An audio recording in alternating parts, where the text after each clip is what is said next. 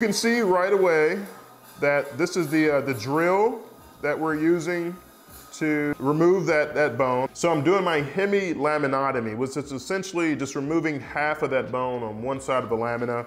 I'm using the drill, it's a very small drill. You can, you can see the sound, that is bone dust, and I'm checking very frequently to make sure that I'm not going too deep. Thank you to the folks over at Unacademy for sponsoring this video.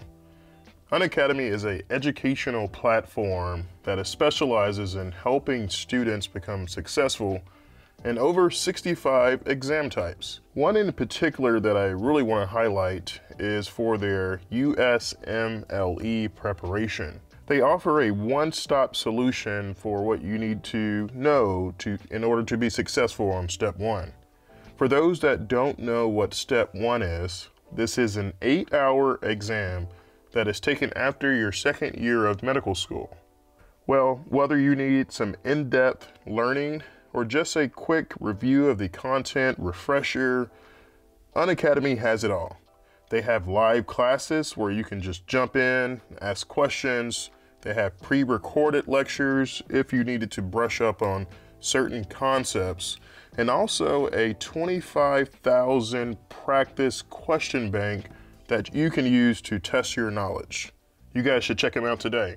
There's a link in the description for 75% off their early bird price. So when you hear about the word disc herniation, or if you hear about the surgery, a microdiscectomy or hemilaminotomy, well, what do these words mean? In this video today, we're gonna chat about that. What's up guys? My name is Dr. Antonio Webb. I'm an orthopedic spine surgeon here in San Antonio, Texas. So I've been wanting to put out some surgical videos and uh, I have a lot of plans for the future and hope to bring you guys a lot of more about basically uh, the surgeries that I do and kind of describing some of the steps, showing you guys some of the in ins and outs of the operating room. Well, in this video, we're gonna talk about a microdiscectomy. Micro means small, discectomy means basically to remove disc. Ectomy means to remove, uh, and disc is just the jelly portion or the cushion that normally resides between one portion of the spine and the next. It's your shock absorber. And over time, this disc will degenerate. It will what's called desiccate and dry out it's more likely to herniate from injury, from a trauma, from a fall, or if the disc is just degenerated, it can spit out and push on the nerve. So depending on which nerve is being pushed on, let's say at the L4 or L5 level, it's usually the L5 nerve root, patients will have either back pain or leg pain that shoots down their leg and it's sometimes to their foot. Sometimes they can have weakness. And the good thing is that most of these herniations will, will would essentially absorb over time and get smaller. And, and 80 to 90% of these patients don't need surgery. But there are some patients that fail conservative treatments, either anti-inflammatories, muscle relaxants, oral steroids, injections, epidural steroid injections, physical therapy, and if a patient fails all these conservative options, then that's when we talk about surgery. Well, a microdiscectomy, as I mentioned, micro means small, discectomy, uh, removing that disc or that herniation that's pushing on the nerve, uh, and hemilaminotomy, what that means. So, this is the spine here, and this is the lumbar spine down here. This is the thoracic spine, cervical spine. Uh, so the lumbar spine's most likely to have the herniations. This is the back of the spine. This is the spinous process at every single level here. And then this is the lamina on both sides. You have one at every single level in your spine, except the top cervical vertebrae. So the lamina here, a hemilaminotomy, hemi means half, lamina Otomy means essentially to remove also. So you're removing a portion of this bone here, and you have to get to the bone to remove, to get to the herniation. Uh, because this is the disc, the cushion, that is between each of these bones here. And when you have a herniation, it's the jelly portion or the nucleus pulposus that actually spits out and pushes on the nerve. You can actually see a little example of that here. This is an example of a herniation. And the nerve is just right back here. At every single level, it comes out at both sides. So let's say a patient has a herniation on the left side at L405. It pushes on this nerve here.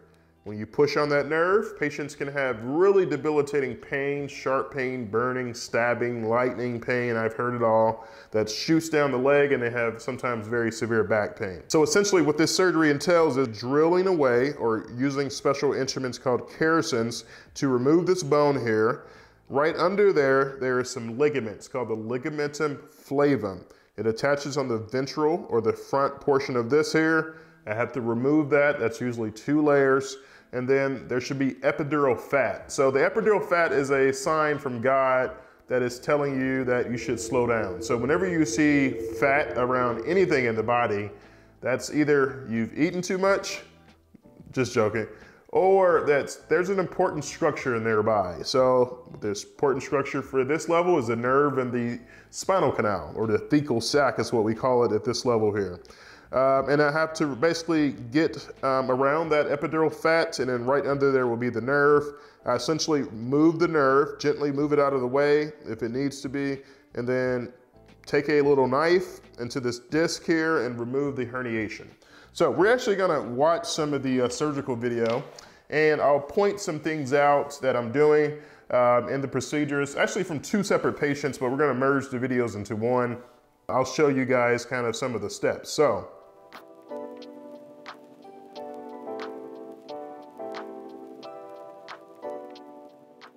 You can see right away that this is the, uh, the drill that we're using to remove that, that bone. So I'm doing my hemilaminotomy, which is essentially just removing half of that bone on one side of the lamina.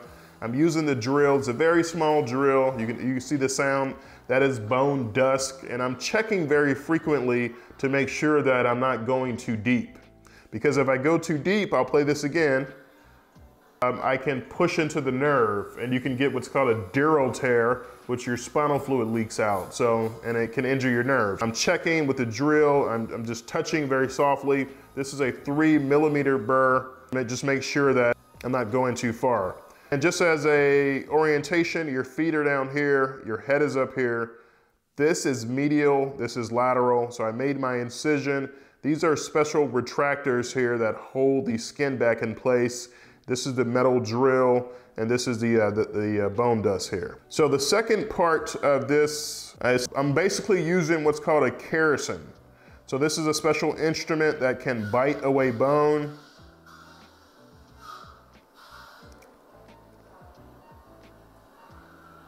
You can see the Kerrison, the instrument, and there's, there's a little bleeding there. We try to control the bleeding.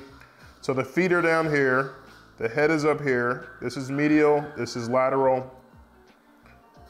And this, this is the some of the ligamentum that we're seeing here.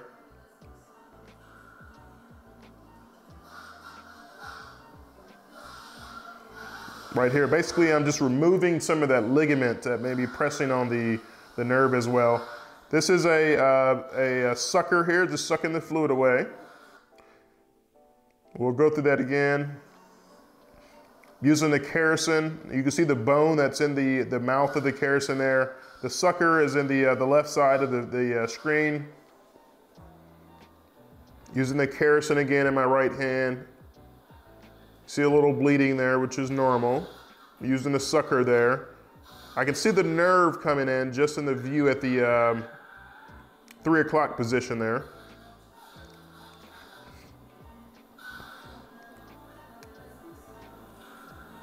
Another Kerrison here, removing that bone. There's a nerve right there.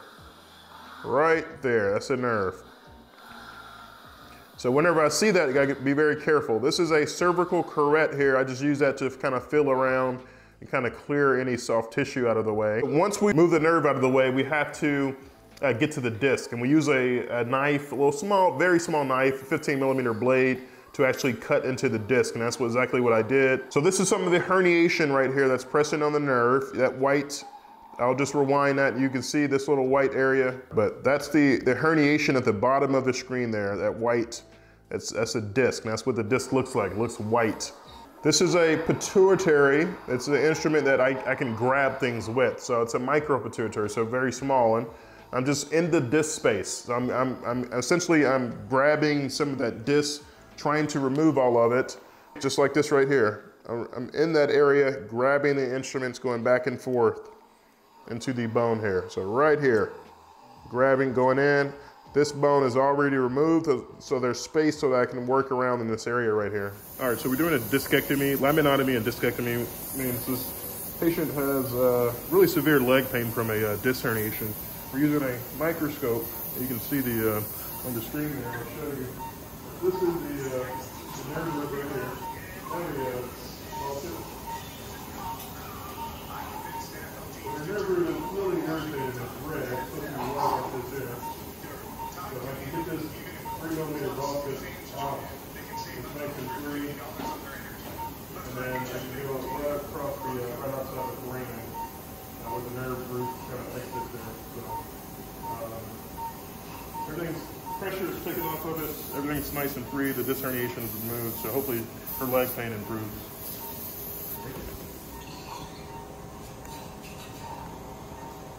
So this is a microdiscectomy or hemilaminotomy. They're, we use those terms kind of uh, interchangeably, but uh, these are two terms that describe a procedure that is done for patients with disc herniation. So hope this video helped you guys.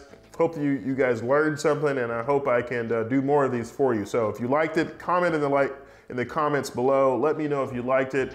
Give me a likes up, subscribe, all that good stuff. Thank you guys for watching and uh, we'll see you next time.